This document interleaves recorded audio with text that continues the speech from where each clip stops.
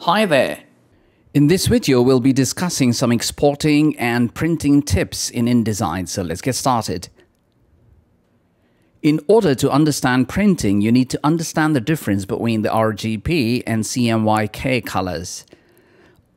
RGB refers to the primary colors of light, red, green, and blue that are used in monitors, television screens, digital cameras, and scanners, whereas CMYK refers to the primary colors of pigment cyan, magenta, yellow, and black. These are the inks used on the press in four color process printing, commonly referred to as full color printing or four color printing. The combination of RGB lights creates white while the combination of CMYK inks creates black. Therefore, it is physically impossible for the printing press to exactly reproduce colors as we see them on our monitors. To make you understand the separation process of the CMYK colors, let's go to Window and then Output and select Separation Process option. Everything you see on the artboard is made up of these four colors. The K of CMYK actually stands for key, as it's a key color or key plate. The colors you see on the screen are in the RGB mode, but when they're printed, they need to be converted to CMYK. Here, if I remove the rest of the colors and make it a grayscale image, it is going to look much like this, which means the highlights, the midtones, the shadows are all achieved using different tones of black. When I select just the yellow color, this image is going to look like this. Magenta covers quite a lot in this image. As you can see, it brings about a lot of details in the image and so does cyan. Particularly the sky and the shadows are covered pretty well using cyan. Now, on top of cyan, when the printer adds magenta, it will start to look something like this. You can find the different colors forming of the mountain, the sky, and the ground as well, but the overall image still looks very dull add yellow and it will enhance the image a little further but doesn't complete the image because the key color is still missing. You might think that this image does appear to have black in certain parts, but those dark areas are made up using the combination of cyan, magenta, and yellow. The moment we add black, or the key color so to speak, the image gets its depth. So ideally, most of the color images that you see are made up of different tones of these four colors. They're called process colors. However, there can be spot colors added on top of these colors like the metallic color or pastel color to achieve certain effects. Let me add a rectangle to the image to explain this. Let's go to the fill option and let's select blue as the color of the rectangle and then right click and go to swatch options in the pop-up menu, update the color type to spot.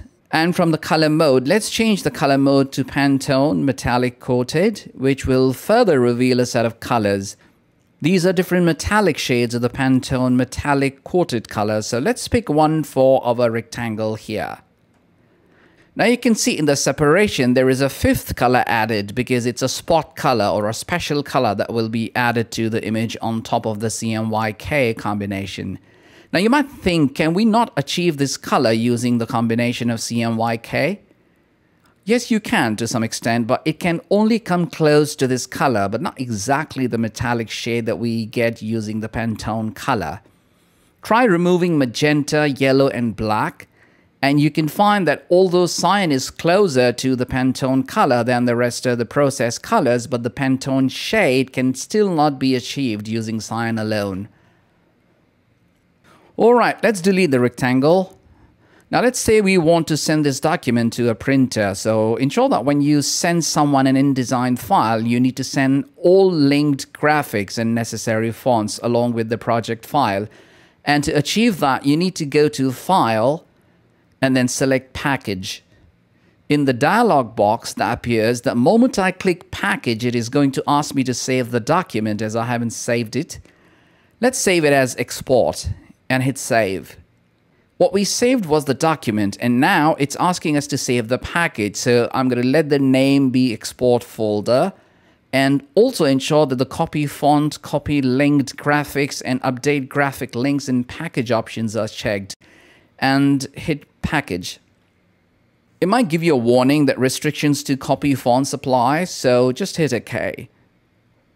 When you go to the package folder, you'll find it has the InDesign document, the PDF, the image, etc. So you can either send these documents separately to the printer or the better way is to compress this folder into a zip format and then send it.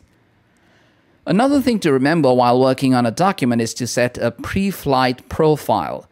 So click here at the bottom panel and select Define Profiles. And in the dialog box, click the plus button at the bottom left to create a new pre-flight profile and give it a name. I'm going to name it InDesign Print. The reason why you should set a pre-flight profile is to ensure that while you edit your document, the pre-flight panel warns of problems that can prevent a document or book from printing or outputting as desired. These problems include missing files or fonts, low resolution images, overset text, and a number of other conditions. So once your setting is complete, hit OK. Let me remind you that we've just created a pre-flight profile. We haven't applied it yet. To apply it, click the drop down and select the profile we've just created. And as you can see, there are no errors showing, which means it's good to go. To export our document, we need to go to File and then Export. Rename it to any name of your choice should you want to and pick the right format from here. Adobe PDF Print is used to share it with your clients or printer. PDF Interactive is used when you have interactive elements such as videos, sound clips, buttons, and page transitions. Export a document or book as a reflowable or fixed layout ebook that is compatible with the Adobe Digital Edition's Reader software. Exporting to HTML is an easy way to get your InDesign contents into web-ready form. The InDesign markup or IDML format was introduced with InDesign CS4. A document stored in this variant can be opened across the entire version and improves compatibility when exchanging data. JPEG and PNG are compressed image formats in which JPEG does not support transparency, whereas PNG supports it.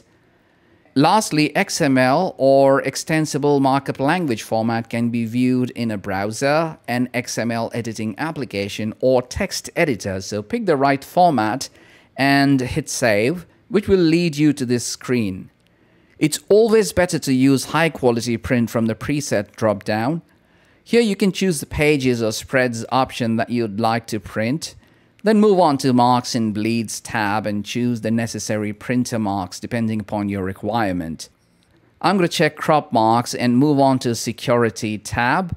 Here you can even add an extraction password so once the PDF is created and sent to the relevant parties, and the moment they open it, it's going to prompt for a password that you can pass on to them through an email or otherwise, thereby securing the content within, and then hit export.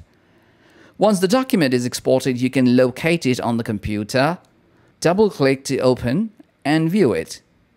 You see, since we set the crop marks, you could find them here. So that's how you export your document in InDesign. Alright guys, that concludes our session. Time for a short break and I'm going to see you in the next one in just a bit. Goodbye.